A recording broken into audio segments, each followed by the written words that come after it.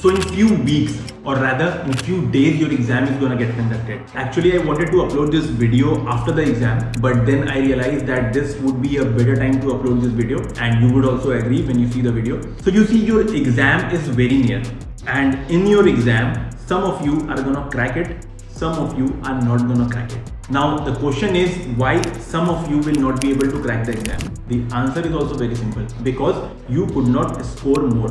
You see you need to study to score more. The more you study the more you are gonna score. So the main question is why you did not study. Now this can happen in three scenarios. Scenario 1 where you did not have time.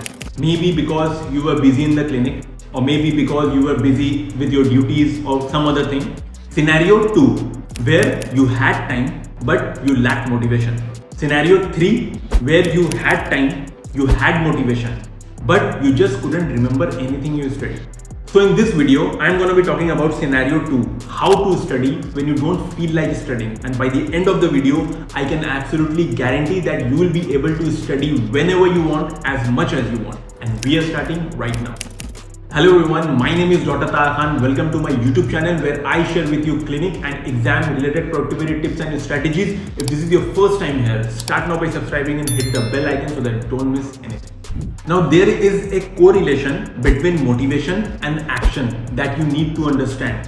You see, traditionally, we believe that you have to, motivation comes first. Traditionally, we believe that you have to be motivated enough to act your motivation will lead to your action. However, this is only partially true because the reverse of this is also true where your action comes first, where you act first. And this leads to finishing your work. And when you finish your work you get the desired result. And this gives you the dopamine to act again. Now if you have understood this concept here is a four step method to solve your problem how to study when you don't feel like studying so step number one, you see, we don't study when we don't have a clear-cut plan. We don't have a clear-cut idea on what are we gonna study, when are we gonna study, how we are gonna study, how long we are gonna study. So in step one, you are gonna be solving this problem. And a typical plan of yours should sound like I'm gonna solve 300 MCQs of organon of medicine from Jana and Rath book in about three and a half hours at around 2 p.m. after my lunch. So you see, this plan of yours now has everything. What you are gonna study, when are you gonna study, how long are you gonna study, how much you are gonna study, and when you are gonna stop.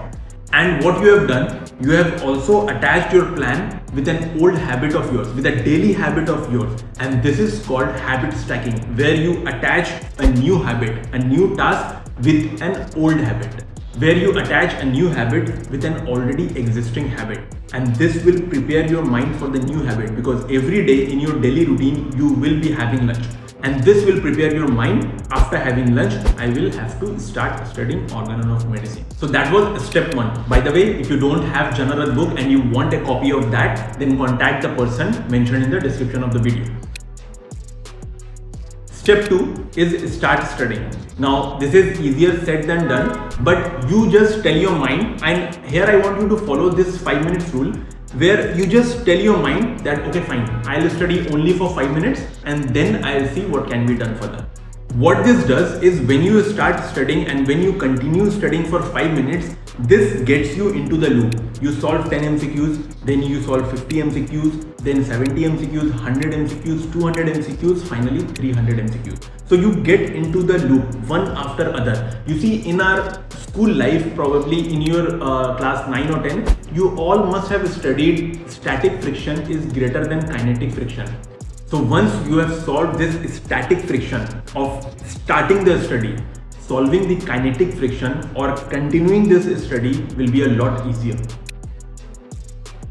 Step 3 is continue studying for 3 and a half hours which you have already planned and for this you can follow the Pomodoro technique, the ultradian rhythm or the focus sprints. I have talked about all these techniques in my previous video. You can check that video. The link of the video will be in the description. So you continue studying keeping in mind a reward that you will be getting at the end of your task at the end of step 3 and it can be anything it can be mindless scrolling of social media for a few minutes or playing a game on PUBG or talking to a friend, talking to your boyfriend, talking to your girlfriend. It can be anything.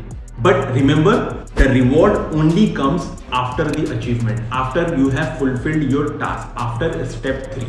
So step 1 is habit stacking, where you are planning to study. Step 2 is where you are breaking the static friction. Step 3 is where you are breaking the kinetic friction. And step 4 is the reward.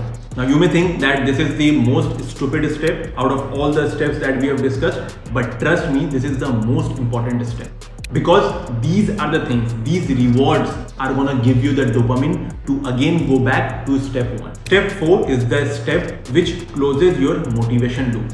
So you plan your work you start your work you continue your work you finish your work and then you get a reward and then you can again start it from step one because this has given you a dopamine. This has given you a motivation. Your action has given you a motivation to study. So you are done with 300 mcqs of organon next after a break you again go for another sprint of 300 mcqs for another subject. Again for 300 mcqs for another subject. So this is the way that you are to study.